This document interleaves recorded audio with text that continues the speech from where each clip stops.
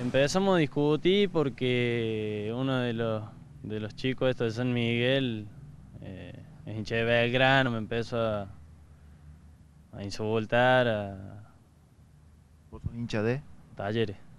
Empezó a insultar, entonces yo voy y le digo, ¿qué te pasa? Al parecer, todo comenzó por una típica cargada futbolera. El que habla es el amigo de Gabriel Torres, el chico muerto por un golpe en los corsos de un quillo. Según el joven de 19 años, cuando caminaban, se encontraron con los dos detenidos actualmente, Mauro Ludueña y Pablo Bracamonte, aunque todo empezó de palabras. Y vienen cuatro amigos de él y empezaron, ¿qué te pasa? ¿Qué te le aguanta? Vení. Eran cinco en total. Y yo estaba con el Gaby y le digo, vení, flaco, vamos.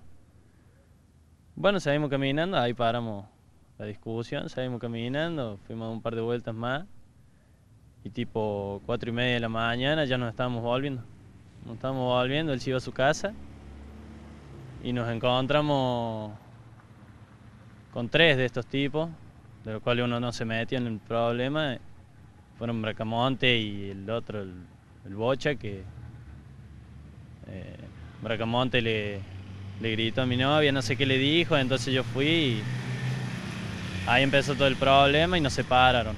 Según el amigo de Torres, Bracamonte le pegó con una piedra en la cabeza a él y luego, mientras Gabriel intentaba levantar del piso a su novia, Ludueña, alias el Bocha, le pegó con la hebilla de un cinto en la cabeza. El Gaby estaba mirando, nada que ver tenía. Gabriel nunca se metió en la pelea. Nunca se metió en la pelea, no. Nada, no dijo nada. Cuando vos y el hermano de Gabriel eh, siguen discutiendo, peleando con este muchacho, eh, ¿qué pasa con, con Gabriel y con tu novia? Y Gabriel quiere levantarle a mi novia, porque mi novia estaba tirada, lo único que quiso hacer fue levantarle del piso y. Y este otro le pega con la hebilla del cinto en la nuca. ¿Quién es el que le pega? El bocha, Mauro. El, el del, uno de los dos detenidos, el, el más chico, el que tiene 20, 21 años. Ese es el que le pega al, al Gaby y el otro, el que me tira con la piedra a mí y me pega cerca de la 100, Era una piedra muy grande. del tamaño del puño, más o menos. ¿Y a Gabriel le pega también con la piedra? No, no, al Gaby fue de atrás con, con la hebilla del cinto, una hebilla grande también. Según el muchacho, que ya declaró dos veces y que recién hoy fue dado de alta luego del golpe en su cabeza, Gabriel Torres la ligó de arriba, puesto que nunca intervino en ninguna discusión.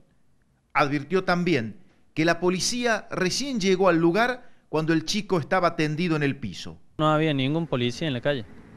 Yo creo que si por lo menos hubiéramos visto un patrullero o algo, por lo menos nos hubiéramos dispersado. Si hubiera un patrullero, pero no había nadie.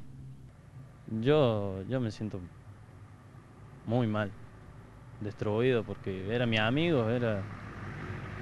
Se juntaba con mis primos de su edad también, yo venía acá al barrio y los veía siempre, estaba con ellos.